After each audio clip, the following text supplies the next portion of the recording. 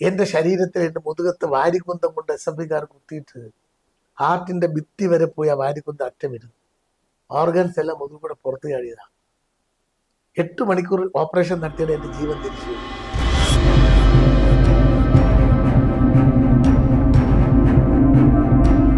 ഏറ്റവും കൂടുതൽ ഭരണകക്ഷി എം എൽ എ ചില കാര്യങ്ങൾ വിളിച്ചു പറഞ്ഞപ്പോ ആ എ ഡി ജി പി രക്ഷിക്കാൻ പി ശശിയെ രക്ഷിക്കാനും എല്ലാം മുഖ്യമന്ത്രി ഒറ്റയടിക്ക് പാർട്ടി വിരുദ്ധമാണെന്ന് പറഞ്ഞ് നടപടിയെടുക്കാൻ പോയപ്പോ മരുമോൻ മന്ത്രി പോയി പറഞ്ഞിട്ടില്ലേ പുള്ളി ഒറ്റയടിക്ക് ഉൾട്ടടിച്ച് മാറിക്കളഞ്ഞു. സുധാകരനും വി ഡി സതീശനും ഒരമ്മ മക്കളൊന്നും. പക്ഷെ കോൺഗ്രസിനകത്ത് ഒരമ്മ മക്കൾ ലീഡർ ആത്മീയ നേതാവിനെ പോലെയാണ് കോൺഗ്രസിനകത്ത് ഉണ്ടായിരുന്നത് അങ്ങനെയായിരുന്നു. ലീഡർ കാര്യം പറഞ്ഞാൽ മതി. ലീഡർക്ക് രാഷ്ട്രീയ ദീർഘവീക്ഷണത്തോട് എന്താണ് ദീർഘവീക്ഷണത്തോടു ഉള്ളതാണ് ലീഡറുടെ വാക്ക് കേൾക്കാതെ വന്നപ്പോൾ കോൺഗ്രസിന് ദോഷം പറ്റി. ലീഡറുടെ വാക്ക് അല്പം ഒന്ന് മുരളി ലംഘിക്കാൻ തുടങ്ങിയപ്പോൾ മുരളിക്ക് ദോഷം വന്നു. പിന്നെ ഇപ്പൊ ലീഡർക്ക് ശേഷമാണ് ലീഡർ മരിച്ചതിന് ശേഷമാണ് പത്മജ പോയത്. പത്മജ ഒരിക്കലും പോകരുതായിരുന്നു. കെ കരുണാകരനെ പോലുള്ളൊരു വലിയ മനുഷ്യന്റെ മകൾ അതും അച്ഛൻ ഇത്രയും സ്നേഹിച്ച ഒരു മകൾ. അച്ഛനെ ഇത്രയും സ്നേഹിച്ച ഒരു മകൾ എന്ത് വിരോധം ഈ പാർട്ടിക്കകത്തുണ്ടായിരുന്നാലും അച്ഛനെ ഓർത്ത് പത്മജ ഈ പാർട്ടിക്കകത്ത് നിൽക്കേണ്ടവളാണ്. അങ്ങനെ ഞാനൊക്കെ എന്നേ തിക്താനുപോലെ അടിസ്ഥാനത്തിലാണ് എന്നെ ഞാൻ കോൺഗ്രസ് ഇപ്പൊ ഓരോരുത്തർ ചെയ്യുമ്പോൾ ഒരു ഇരുപത്തഞ്ച് പാർട്ടി മാറിപ്പോകേണ്ടി വന്നെ. എന്റെ സ്ഥിരകളിൽ കോൺഗ്രസ് കോൺഗ്രസിൽ നിൽക്കുമ്പോൾ ഒരു സുഖം വേറെ ഒരു പാർട്ടി പോയി ആർക്കും കിട്ടൂല. പരിഗണിച്ചില്ലെങ്കിൽ പരിഗണിച്ചില്ലെങ്കിൽ നമുക്ക് വേദന ഉണ്ടാവും. കാരണം എന്റെ ഒരു സാക്രിഫൈസ് എന്റെ ഒരു ത്യാഗം എന്റെ ഒരു കാലിബർ ഈ പാർട്ടി പരിഗണിച്ചില്ല എന്നൊരു ഇൻഫീലിംഗ് എനിക്ക് എപ്പോഴും ഉണ്ട്. ഇൻഫീലിംഗ് ഉണ്ട്. എന്റെ എന്നെപ്പോലെ പോലെ ഈ പാർട്ടിക്ക് വേണ്ടി ജീവൻ പണയം വെച്ച എന്റെത് ഈ വിരൽത്തുമ്പ് മുതൽ കാലിന്റെ തുമ്പ് വരെ എന്റെ ശരീരം പരിശോധിച്ചാൽ പത്ത് തൊണ്ണൂറ് മുറിപാടുകളുണ്ട്. കുത്തിത്തയ്യലുകളുണ്ട് എന്റെ ശരീരത്തിൽ എന്റെ മുതുകത്ത് വാരിക്കുന്തം കൊണ്ട് എസ് എം പിക്കാർ കുത്തിയിട്ട് ഹാർട്ടിന്റെ ഭിത്തി വരെ പോയി ആ വാരിക്കുന്തം അറ്റമിരുന്നു ഓർഗൻസ് എല്ലാം മുതുകൂടെ കൂടെ പുറത്ത് കഴിയതാണ് എട്ട് മണിക്കൂർ ഓപ്പറേഷൻ നടത്തിയാണ് എന്റെ ജീവൻ തിരിച്ചു കിട്ടിയത്. ചെമ്പരത്തി കോളേജ് വെച്ച് എന്നെ വെട്ടി മലമുകളിൽ നിന്ന് വെറും ഒരു അടിവസ്ത്രം മാത്രമേ ഉണ്ടായിരുന്നുള്ളൂ. അതിരുന്നത് എന്നെ വെട്ടിയെടുത്ത് താഴെ ഇട്ടപ്പോഴത്തേക്ക് ആ ഈ ഇടുപ്പിന്റെ ഭാഗത്തുള്ള എല്ലിൽ ഈ അടിവസ്ത്രത്തിന്റെ എലാസ്റ്റിക് കൊരുത്തിരുന്നതുകൊണ്ട് അതെന്റെ ശരീരത്തിൽ. എടുത്ത് താഴെ ഇടുമ്പോൾ ഇത്രയുള്ള ഇഷ്ടിക എന്റെ ശരീരത്തിനകത്ത് കയറി പോയി ആ മുറിയും കൂടെ. അത്ര ത്യാഗം സഹിച്ച ആളാ. അവിടെ ഞാൻ ത്യാഗം സഹിച്ച് നിൽക്കുന്നത് പാർട്ടി എന്തെങ്കിലും എന്നെ തിരിച്ചറിയുന്നുണ്ട് പാർട്ടിക്കറിയാം പാർട്ടി നേതാക്കന്മാരെ അറിഞ്ഞുകൊണ്ട് അറിയില്ല എന്ന് പലപ്പോഴും ഒപ്പം നിൽക്കാൻ വേണ്ടിയിട്ടാണോ? പിന്നെ അങ്ങനെയല്ല. ചിലപ്പോൾ ഞാൻ ചിലപ്പോൾ ആലോചിച്ചിട്ടുണ്ട് എന്റെ എന്റെ കാലിബർ ആണോ എന്റെ ശത്രു എന്ന് എനിക്ക് തോന്നിയിട്ടുണ്ട്. എവന്റെ കയ്യിൽ എന്തെങ്കിലും കൊടുത്താൽ യവൻ കൊണ്ട് കയറിക്കളഞ്ഞാലോ എന്ന് ആരൊക്കെയോ ചിന്തിക്കുന്നുണ്ടെന്നൊരു സംശയമുണ്ട്. അതുകൊണ്ട് പണ്ടൊക്കെ ഞാൻ പടപടാ പ്രതികരിക്കുമായിരുന്നു. അതെ. ഇപ്പൊ ഞാൻ ഒരു ഒരു കുട്ടികളെ ഗാന്ധിസം പഠിപ്പിക്കുന്ന ഒരു ഓർഗനൈസേഷൻ ഇരുപത്തിനാല് കൊല്ലമായി ഉണ്ടാക്കി അതുകൊണ്ട് നടക്കുകയാണ് ദേശീയ ഭാരതം എന്ന് പറഞ്ഞിട്ട്. ഞാൻ സ്വയം ഒരുപാട് തിരുത്തപ്പെട്ടു എന്നൊരു സംശയം. ഞാനിപ്പോ അത്ര പെട്ടെന്ന് കോപിക്കാൻ പോകുന്നില്ല. എടുത്തെറിഞ്ഞ മറുപടി പറയുന്നില്ല. എന്റെ മനസ്സിൽ അതുണ്ട് വേണ്ട സമയത്ത് ഞാനത് പറയും. പക്ഷേ ഞാൻ ചിലരൊക്കെ കാണുമ്പോൾ എം എം ജേക്കബ് സാറ് പണ്ട് ഞങ്ങളുടെ ക്യാമ്പിൽ ഒന്ന് പ്രസംഗിക്കും. വലിയ കൊടുങ്കാറ്റ് വരുമ്പോൾ ചില വൃക്ഷങ്ങളെല്ലാം ഇങ്ങനെ വിരിഞ്ഞു നിൽക്കും. ഈ കൊടുങ്കാറ്റ് കടവൊഴി എഴുതിക്കൊണ്ട് പോകും. ചില വൃക്ഷങ്ങൾ കണ്ടിട്ടുണ്ടോ കാട്ടിൽ? വലിയ കൊടുങ്കാറ്റ് വരുമ്പോൾ അതിങ്ങനെ കുനിഞ്ഞു നിന്ന് കൊടുക്കും. കാറ്റ് ഇതുവഴിയൊക്കെ പോകും. പിന്നെ വൃക്ഷം ഇങ്ങനെ നിറഞ്ഞു നിൽക്കും. ഞാൻ ഇപ്പോൾ ആ ഒരു തീമിന്റെ ആളാണ്. ഒരുപാട് കൊടുങ്കാറ്റ് അടി അടിച്ചോട്ടെ. എനിക്ക് വേണ്ടി വാദിക്കുമെന്ന് പറയുകയും എനിക്ക് വേണ്ടി നിൽക്കുന്നു എന്ന് പറയും. പിന്നെ നിൽക്കാതെ വന്ന ആളുകളുണ്ട്. ഇപ്പോഴത്തെ K P C president K P C president ആവുന്നതിന് മുമ്പ് എന്നെ മൂന്ന് പ്രാവശ്യം ഡി സി പ്രസിഡന്റ് ആക്കാൻ വേണ്ടി രമേശ് ചെന്നിത്തലത്ത് പോയി സംസാരിച്ച ആളാ. പക്ഷെ പുള്ളി കെ പി സി പ്രസിഡന്റ് ആയപ്പോ എന്നെ ഡി സി പ്രസിഡന്റ് ആക്കാൻ പറ്റിയില്ല. പറ്റിയില്ല. അപ്പൊ ആക്കാ- ആക്കാത്തതാണോ? അറിഞ്ഞൂടാ. അത് പുള്ളിയോട് ചോദിക്കണം. പുള്ളി ഡൽഹി പോണേന്റെ തലേ ദിവസം എന്റെ അടുത്ത് പറഞ്ഞത് ശരത്താണ് ഡി സി പ്രസിഡന്റ് എങ്ങനെയും തിരുവനന്തപുരം രക്ഷപ്പെടുത്തണം കേട്ടോ എന്ന് പറഞ്ഞിട്ട് പോയ ആളാണ്. ഇപ്പോഴൊരു ചാൻസ് വരുന്നുണ്ട്. ആ പണി നിർത്തി. ഞാനൊരു പശ്ചാത്താപം എനിക്ക് ഉണ്ട് തൊണ്ണൂറ്റി ഒന്നിലെ സംഘടനാ തെരഞ്ഞെടുപ്പ് കഴിഞ്ഞപ്പോൾ കെ കരുണാകരൻ എന്നോട് പറഞ്ഞു ഞാൻ യൂത്ത് കോൺഗ്രസ് സംസ്ഥാന സെക്രട്ടറി ആറ്റിങ്ങിൽ എം എൽ എ ആണ്. എന്നെ വിളിപ്പിച്ചു. അപ്പൊ ഞാൻ അന്ന് ചെറിയാമ്പിൽ പിന്നെ തോപ്പിച്ചു കെ പി സി സി ഞാനും ചെറിയാൻ മത്സരിച്ചു. വക്കം മുറിച്ചുകൊത്തവരെ ഒരു ബ്ലോക്ക് സെക്രട്ടറി നിർത്തി ഞാൻ ആറ്റിങ്ങിൽ ചെറിയങ്കീട് ബ്ലോക്ക് തോപ്പിച്ചു പാർട്ടി തിരഞ്ഞെടുപ്പിൽ. അപ്പൊ ഈ ജില്ലയിൽ യൂത്ത് കോൺഗ്രസ് ബ്ലോക്ക് പ്രസിഡന്റുമാരെല്ലാം എന്റെ കൂടെ ഈ മത്സരം നടന്ന സ്ഥലങ്ങളിലെല്ലാം എന്റെ കൂടെ. അപ്പൊ ലീഡർ എന്നെ വിളിച്ചിട്ട് പറഞ്ഞു നീ ഡി സി പ്രസിഡന്റ് ആവണോ ചോദിച്ചു. ലീഡർ ഒരുപാട് കാൽക്കുലേഷൻ ഉള്ള ആളാണ് ഡി സി പ്രസിഡന്റ് ആകുന്നു യൂത്ത് കോൺഗ്രസ് പ്രസിഡന്റ് ആവണമെന്ന് ആഗ്രഹമുണ്ട്. അത് ലീഡർ എന്റെ പറഞ്ഞിട്ടുണ്ട് യൂത്ത് കോൺഗ്രസ് പ്രസിഡന്റ് ആവാന്ന് ശരി നിനക്ക് അതാണ് ആഗ്രഹം ഇരിക്കട്ടെ. നിനക്ക് മുപ്പത്തൊന്ന് വയസ്സ് കഴിഞ്ഞതേ ഉള്ളൂ. ഇന്ത്യയിലെ ഏറ്റവും പ്രായം കുറഞ്ഞ ഡി സി പ്രസിഡന്റ് നീ ആയിരിക്കും. നീ ഈ തൊണ്ണൂറ്റി ഒന്നിൽ ഞാൻ നീ തിരുവനന്തപുരം ഡി സി പ്രസിഡന്റ് ആയാൽ ഇന്ത്യയിലെ ഏറ്റവും പ്രായം കുറഞ്ഞ ഡി സി പ്രസിഡന്റ് ഒരു പത്ത് കൊല്ലം പതിനഞ്ച് കൊല്ലം നീ എവിടെ നിൽക്കുമെന്ന് നിനക്ക് അറിഞ്ഞുകൂടാ. അപ്പോൾ ഞാൻ ചിരിച്ചിരിക്കുന്ന മുഖത്ത്. എന്റെ മനസ്സിൽ അപ്പോഴും പോരാട്ടം യൂത്ത് കോൺഗ്രസ് സമരം മനസ്സിൽ എന്തൊക്കെയോ ചെയ്യണമെന്നുള്ള അഭിവാഞ്ച എന്റെ മനസ്സിൽ. ആ ഞാൻ ഈ കഴിഞ്ഞ ഒരു പത്ത് പതിനഞ്ച് പതിനെട്ട് കൊല്ലമായിട്ടേ എന്നെ നമ്മുടെ നേതാക്കന്മാർ ശരത്താണ് ഡി സി പ്രസിഡന്റ് കേട്ടോ എന്ന് വിളിച്ചു പറയുകയും വേറെ ആളിന് എന്തുകൊണ്ട് എന്നെ വെച്ചില്ലാതെ ഇതുവരെ ആരും പറഞ്ഞിട്ടില്ല? ഈ കഴിഞ്ഞ മൂന്ന് നാല് പ്രാവശ്യവും തിരുവനന്തപുരത്ത് ഡി സി പ്രസിഡന്റുമാരെ വെക്കുമ്പോഴത്തേക്ക് ശരത്താണ് ഡി സി പ്രസിഡന്റ് എന്ന് എന്നെ വിളിച്ച് പറഞ്ഞിട്ട് വേറെ ആളുകൾ വെച്ചു. എല്ലാം എന്റെ സുഹൃത്തുക്കളെ തന്നെ വെച്ചു. പക്ഷെ എന്തുകൊണ്ടാണ് എന്നെ വെക്കാത്തതെന്ന് പറഞ്ഞിട്ടില്ല? എന്തുകൊണ്ടാണ് എന്നെ വെക്കാത്തതെന്ന് ഞാനൊരു പുസ്തകം എഴുതുന്നുണ്ട്. അത് ചിലപ്പോൾ ഞാൻ ചത്തേനേഷ്യ പ്രസിദ്ധീകരിക്കുള്ളൂ പക്ഷെ അവഗണന ഇന്നും ഉണ്ടല്ലേ? അവഗണന ഈ പാർട്ടിക്കകത്ത് ഇതൊക്കെ ഉള്ളത് തന്നെ. രാഷ്ട്രീയമല്ലേ? കോൺഗ്രസ് രാഷ്ട്രീയത്തിൽ അങ്ങനെയൊക്കെ വരും. ഈ പാർട്ടി നിൽക്കണമെങ്കിൽ ഇതൊക്കെ സഹിക്കാൻ കൂടെ തയ്യാറാണ്.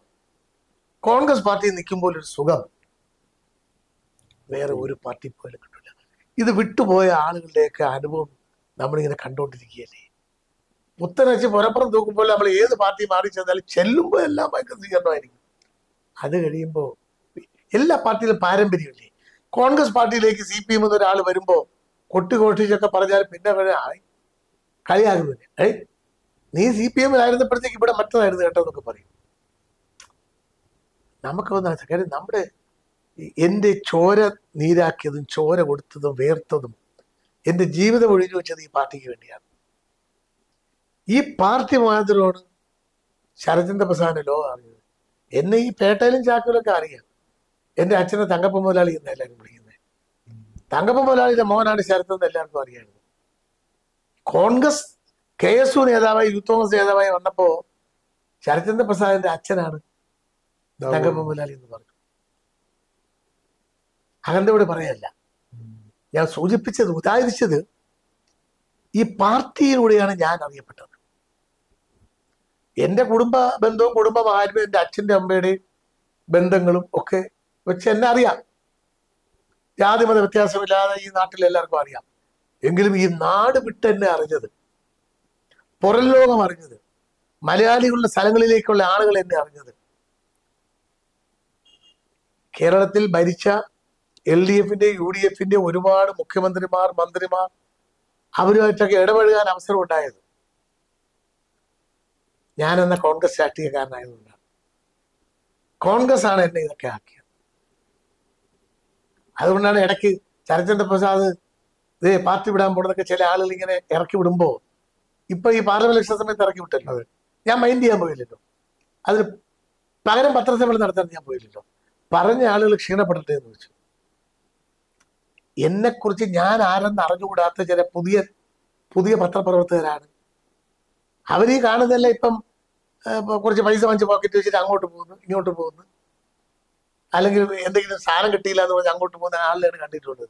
രണ്ടായിരത്തി ആറിലല്ലേ നോർത്തിൽ അന്നത്തെ നോർത്തിൽ സീറ്റ് പറഞ്ഞു വെച്ചിരുന്നു. എന്നെ ഈ തിരുവനന്തപുരം അസംബ്ലിയിൽ ഞാൻ മാത്രമേ ഉണ്ടായിരുന്നുള്ളൂ. എം എം എസിനോട് ഞാൻ ചോദിച്ചു അസംബ്ലി അസംബ്ലി ഇല്ലെന്ന് പറഞ്ഞു. ഞാൻ മാത്രമേ ഉണ്ടായിരുന്നുള്ളൂ. എന്റെ മുകളിൽ കൂടെ ശോഭന ജോർജിനെ കൊണ്ടിട്ട് ഇവിടെ അത് കഴിഞ്ഞ് പോയി കഴിഞ്ഞപ്പോഴത്തേക്ക് ശിവകുമാറിനെ കൊണ്ട് എന്റെ തലയിൽ കൂടെ കൊണ്ടിട്ടു. ശോഭനയും പോയി. ശോഭന പോയി ഇപ്പൊ സി പോയി പാറശാല പോയി. പാറശാലക്കാരനായ ശിവകുമാറിനെ കൊണ്ട് എന്റെ വണ്ടി കിട്ടും ഞാൻ ഒന്നും വേണ്ടിയില്ല ആ സമയത്താണ് എനിക്ക് ഹൃദയത്തിനൊരു ബ്ലോക്ക് വന്നത്. ടെൻഷൻ കയറിയിട്ട്. ക്രൂഷ്യൽ നിമിഷമായിരുന്നു. ആ ആ അപ്പൊ എനിക്ക് എനിക്കൊരു എനിക്ക് വല്ലാത്ത ദേഷ്യം. കാര്യം അറിയോ എന്നെ ഇങ്ങനെ അന്ന് ഈസ്റ്റ് അല്ലായിരുന്നു Thiruvananthapuram? Thiruvananthapuram west. West west. അന്ന് വെസ്റ്റ് എന്നെ ഇങ്ങനെ അപമാനിക്കുകയാണോ? എന്നെ ഇങ്ങനെ തഴ അപ്പൊ എനിക്കൊരു എന്റെ ഒരു ചെറുപ്പത്തിന്റെ ഒരു ഊർജവും എല്ലാം കൂടെ ഞാനിങ്ങനെ പ്രതികരിച്ചുകൊണ്ടിരുന്നിടത്ത് ഞാൻ പ്രതികരിക്കാതെ ഇരുന്നപ്പോഴത്തേക്ക് സ്വാഭാവികമായ ഒരു മാനസിക ശാരീരിക അവസ്ഥയിലുണ്ടായ ഞാൻ ഇപ്പൊ ഹോസ്പിറ്റലായി. ആ തെരഞ്ഞെടുപ്പിൽ ഞാൻ വന്ന ഞാൻ പാർട്ടിയാണ്. ഞാൻ പാർട്ടിയാണ്. അതുകൊണ്ട് എല്ലാ ഞാനിവിടെ കോൺഗ്രസിന്റെ വാർഡ് പ്രസിഡന്റായിരുന്നു ഞാൻ പ്രീ ഡിഗ്രി വിദ്യാർത്ഥി ആയിരിക്കുമ്പോൾ ഇന്ത്യൻ നാഷണൽ കോൺഗ്രസിന്റെ വാർഡ് പ്രസിഡന്റ് എന്ന് പറഞ്ഞാൽ ഇപ്പോഴത്തെ പേട്ട വാർഡിന്റെ അറ്റം മുതൽ വേളി മാധവരം വരെയുള്ള പതിനാറായിരം വോട്ടുള്ള ഒരു വലിയ വാർഡാണ് പതിനാറായിരം വോട്ടത്തെ ഒരു പഞ്ചായത്തിലെ വോട്ടാണ് അതെ. കേരളത്തിലെ ഏറ്റവും വലിയ കോർപ്പറേഷൻ വാർഡ്. അതേ ചാക്ക കാഞ്ഞിരളാം ക്ഷേത്രത്തിന്റെ അപ്പുറം മുതൽ മാധവരം ക്ലേ ഫാക്ടറിയുടെ അതുവരെയുണ്ട് ഇപ്പൊ ഇത് രണ്ട് രണ്ടര വാർഡാണ്. അതിന്റെ വാർഡ് പ്രസിഡന്റാണ്. ഞാൻ യൂത്ത് കോൺഗ്രസിന്റെ മണ്ഡലം പ്രസിഡന്റായിരുന്നു ഞാൻ K S U taluk committee member unit committee member unit secretary taluk committee member ഇപ്പൊ താലൂക്ക് കമ്മിറ്റി മെമ്പറിന്റെ കാര്യം കേൾക്കാറുണ്ട്. ഇപ്പോ ഓൾ ഇന്ത്യ മെമ്പർ ആവുന്നതിനെ കുറിച്ചാണ് ആലോചിക്കുന്നത്. അന്നാരാ കാലുവരി അന്ന് അന്ന് ഈ കോൺഗ്രസ് രാഷ്ട്രീയത്തിനകത്തുള്ള പ്രധാനപ്പെട്ട ആളുകളൊക്കെ ഉണ്ടായിരുന്നു. അന്ന് പുറത്തു കേട്ടത് ഞാൻ ഞാൻ അന്ന് തിരുവനന്തപുരം സെൻട്രൽ മത്സരം ഞാൻ എം എൽ എ ആയിരുന്നെങ്കിൽ ഞാൻ എപ്പോഴും മന്ത്രിയാണ് ഞാനപ്പോൾ എന്റെ സീനിയോറിറ്റി വെച്ചത് ഇതാണ് അതൊക്കെ ഭയന്നിട്ട് ചില ആളുകൾ എന്നെ പല ഭാഗത്ത് നിന്ന്. പിന്നെ ലീഡർ മുഖ്യമന്ത്രിയായി മാറാൻ സമയത്ത് ലീഡർ എഴുതി കൊടുത്ത മാറുന്ന മുഖ്യമന്ത്രിക്ക് ഒരു ചോയ്സ് ഉണ്ടല്ലോ. എഴുതി കൊടുത്ത പേര് മൂന്നാമത്തെ പേര് എന്റെ പേരായിരുന്നു. അപ്പൊ എന്റെ ഈ സീനിയോറിറ്റികളും എന്റെ വരുന്ന വഴിയിൽ പലപ്പോഴായി തടസ്സമിട്ട ഈ കോൺഗ്രസിനകത്തുള്ള നേതാക്കന്മാരാണ്. ആരും ദേശീയപ്പാകാവൊന്നുമില്ല ഏയ് എന്തിനാ പകച്ചിട്ട് കാര്യം തോന്നുന്നു ഞാൻ ഇപ്പൊ ചിലപ്പോ ഞാൻ ഈ അടുത്ത കാലത്ത് എവിടെ പ്രസംഗിപ്പോ വക്കം പുരുഷോത്തമന്റെ ഒരു അനുസ്മരണ പരിപാടി പ്രസംഗിച്ചപ്പോൾ ഞാൻ പറഞ്ഞു ഒരു ചൊല്ലില്ല അവനവൻ ചെയ്യുന്നതിന്റെ ഫലം അവനവൻ തന്നെ അനുഭവിക്കണം. കെ പി സി ഓഫീസിൽ വക്കത്തിന്റെ ഒരു അനുസ്മരണ പരിപാടി നടന്നു. ആ അപ്പൊ അല്ല വക്കം മരിച്ചുപോയി.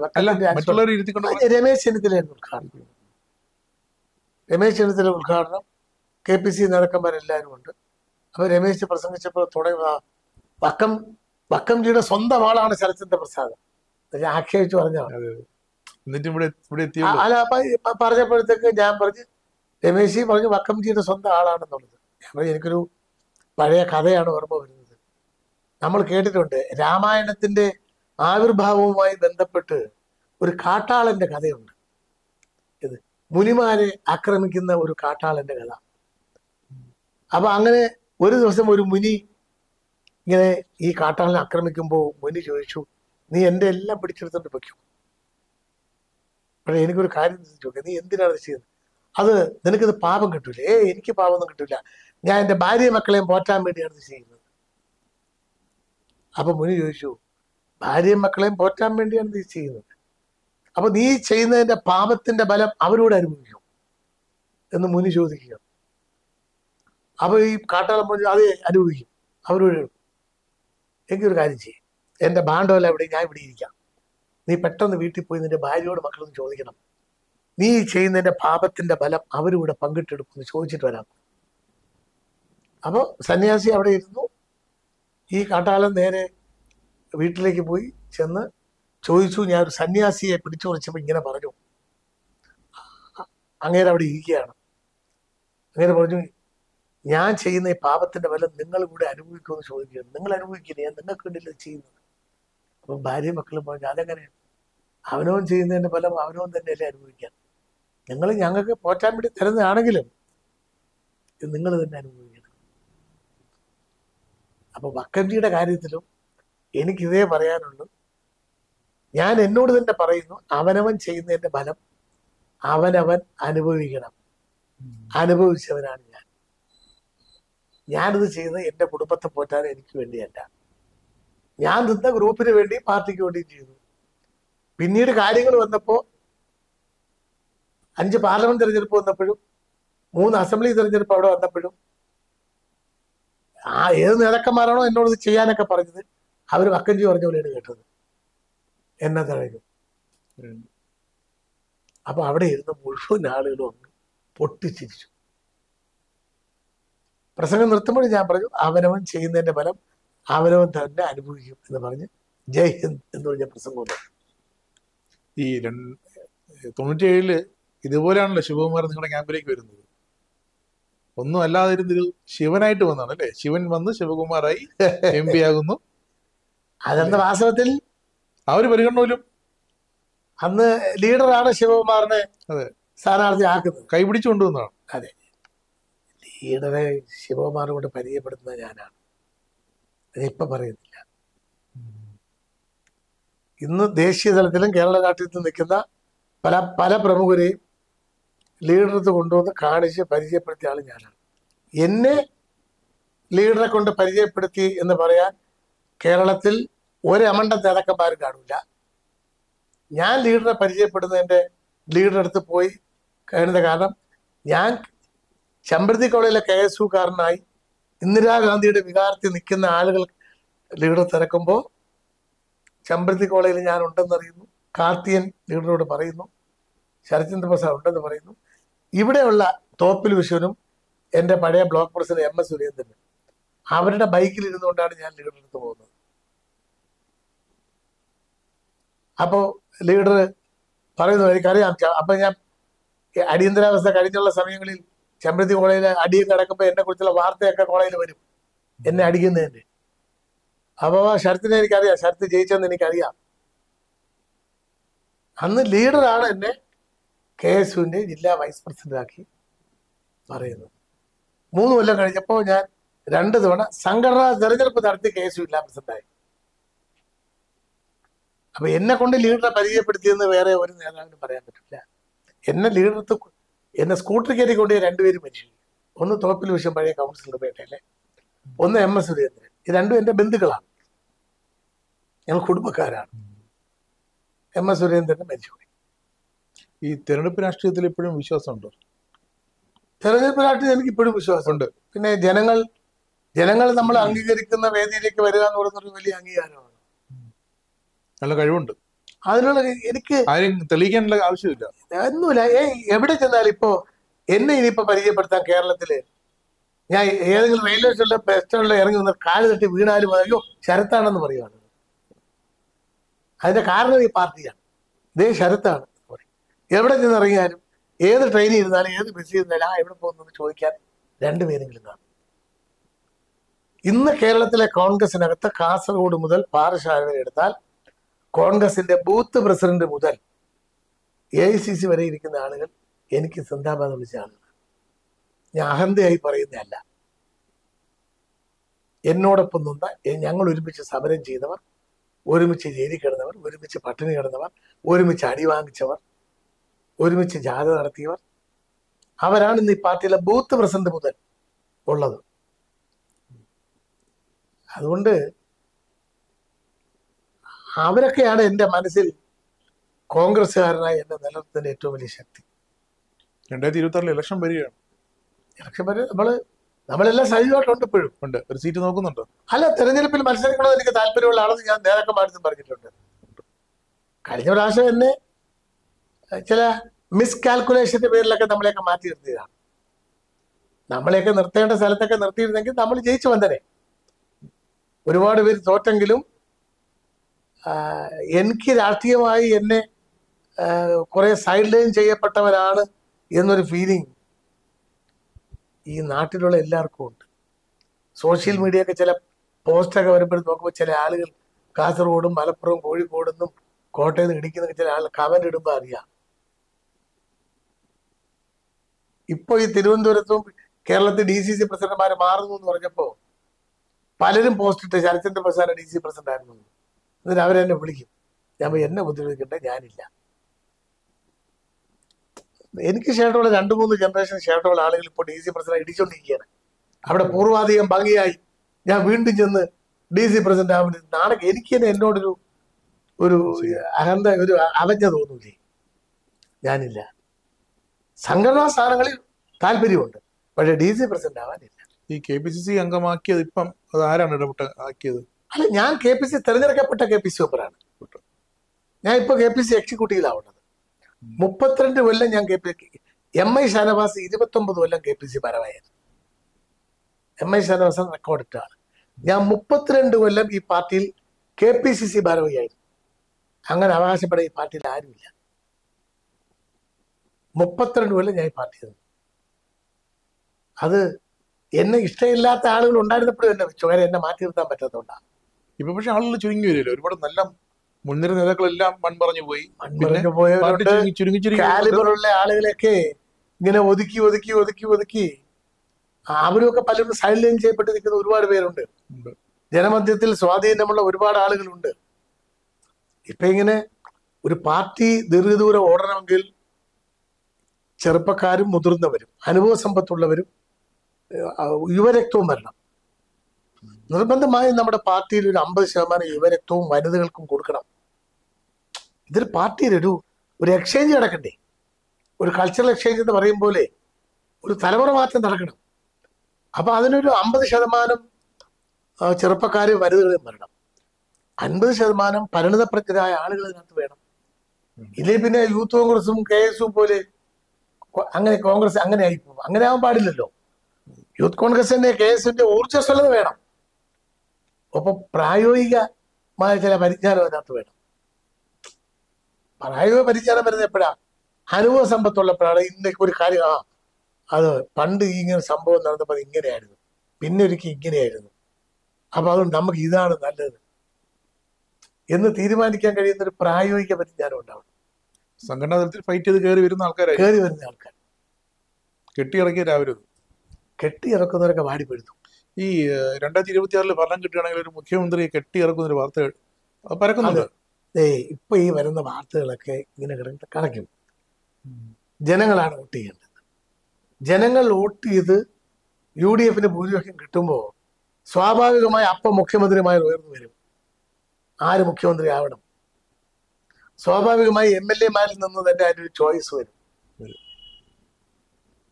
അപ്പൊ ജനങ്ങളുടെ ഇടയിൽ ഒരു ചോയ്സ് ഉണ്ടാവും. ജനങ്ങളുടെ ഒരു താല്പര്യം വരും. അപ്പൊ അതൊക്കെ ചിലപ്പോ ചില മാധ്യമങ്ങൾ ചില ആളുകളെ ഫോക്കസ് ചെയ്യാൻ വേണ്ടി പറയും. എങ്കിലും നിഷ്പക്ഷമായി ചില ജനകീയ അഭിപ്രായങ്ങൾ ഉയർന്നു വരും.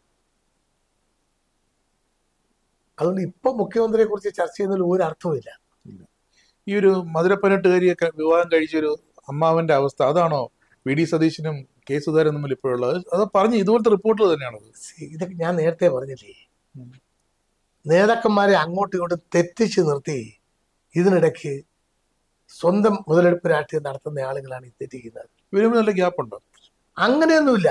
അതൊക്കെ ആരെങ്കിലുമൊക്കെ ചെന്നിട്ട് ചുമ്മാ എന്തെങ്കിലും പറയുമ്പോഴത്തേക്ക് സുധാകരനും വി ഡി സതീശനും ഒരമ്മ മക്കളൊന്നും അല്ലല്ലോ പക്ഷെ കോൺഗ്രസിനകത്ത് ഒരമ്മ മക്കളാണ്.